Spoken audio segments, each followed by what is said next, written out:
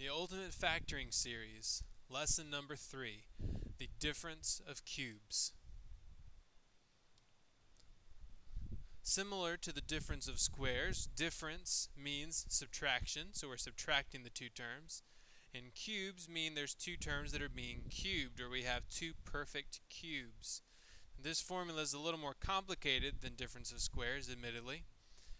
But every time a cubed minus b cubed can be factored into a minus b times a squared plus ab plus b squared.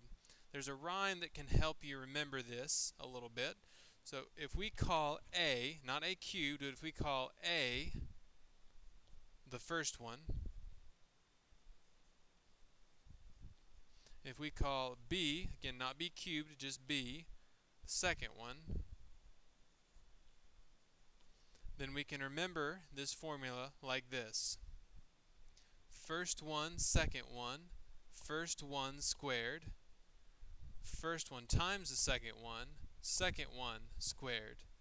The first sign is the same, the second one is not. The last one's always positive, and that's what you got. First one, second one, first one squared, first one times the second one, last one squared. The first sign is the same, the second one's not. The last one's always positive, and that's what you've got. So let's try to remember that as we start some examples. Actually, before we do examples, let's look at some perfect cubes just so we know what to look out for. 1 cubed is 1, 2 cubed is 8, 3 cubed is 27, 4 cubed is 64, 5 cubed is 125, and you can keep going up from there if you wish. Looking at the second line there, we see variables that are being raised to exponents that are multiples of 3.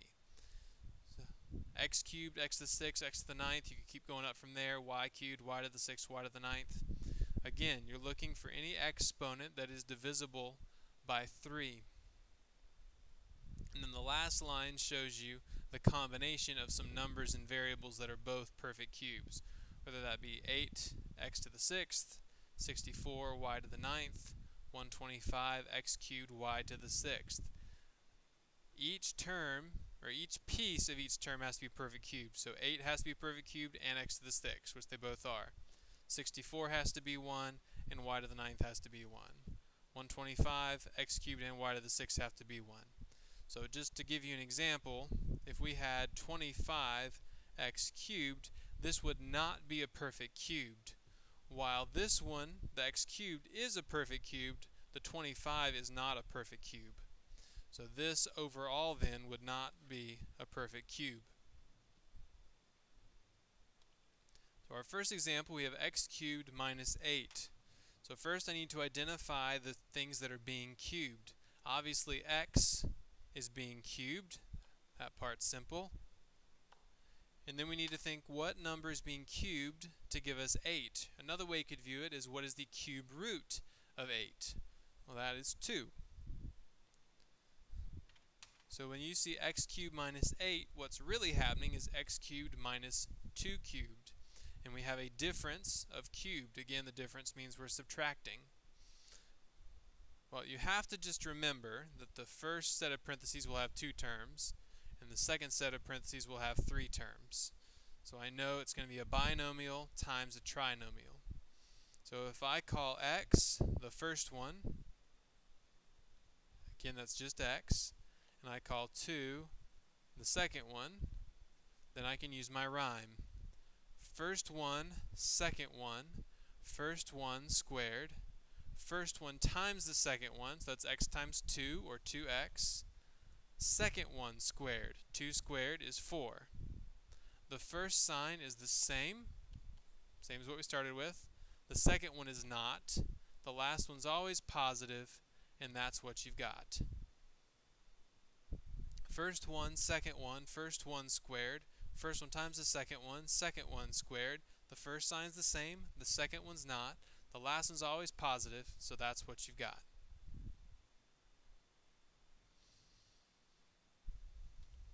Next example, we have 1 minus y cubed. So we need to start by figuring out what is being cubed. 1 cubed is 1, so 1 cubed. And then obviously y is also being cubed. So this time my 1 is the first one, and my y is the second one. So I'll set this up, binomial times trinomial. First one, second one, first one squared. 1 squared is just 1. First one times the second one, 1 times y. Second one squared. The first sign is the same, the second one is not, the last one's always positive, and that's what you've got.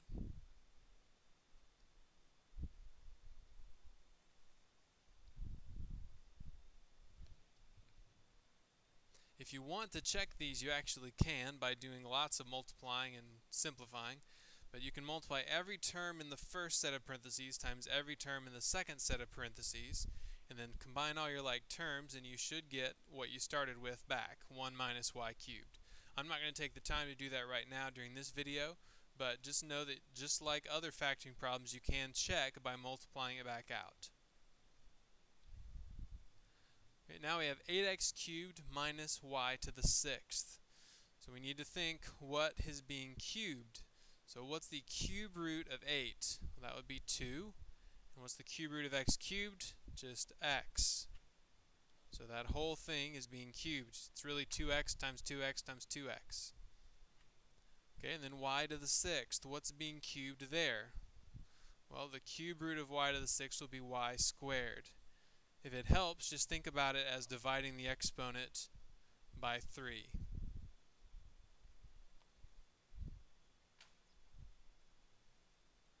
So this time my first one is 2x and my second one is y squared. Now this one I'm probably going to do in two steps and you'll see what I mean in a second. Um, but it's not always easy to simplify in your head as you're going, so I'm going to do this one in two steps. The first one second one, first one squared. First one times the second one, second one squared. The first sign is the same, the second one is not. The last one's always positive, so that's what you've got. So you can see I didn't simplify right away, so I'm going to fix that now. My first set of parentheses is fine. 2x minus y squared. But I need to square the 2x, so make sure you square both pieces, because squared means times itself, so that's 2x times 2x, which is going to give me 4x squared. I have to square both the 2 and the x. And then 2x times y squared, that's just 2xy squared. And then y squared squared would be y to the fourth. And this would be my final answer.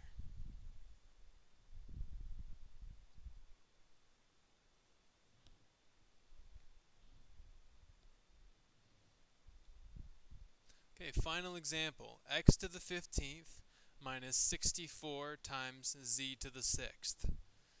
So I need to figure out what's being cubed. So the cube root of x to the 15th would be x to the 5th. Again, you can think about it as just dividing the exponent by 3. The cube root of 64 is 4. And the cube root of z to the sixth is z squared. So my first one is x to the fifth.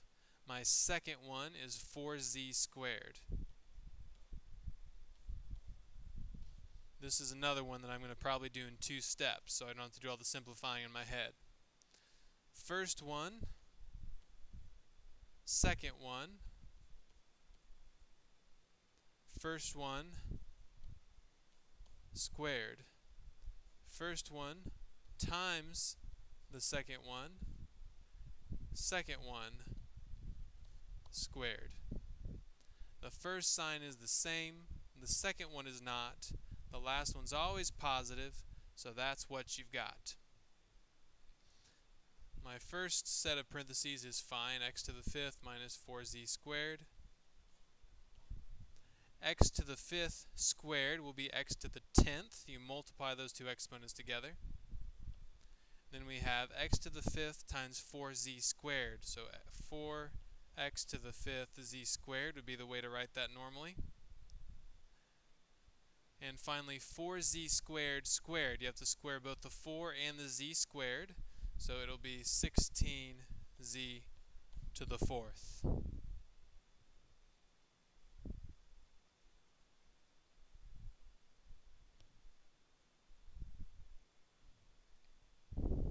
Now unlike squares, where you can only do the difference, with cubes you can do both the difference and the sum.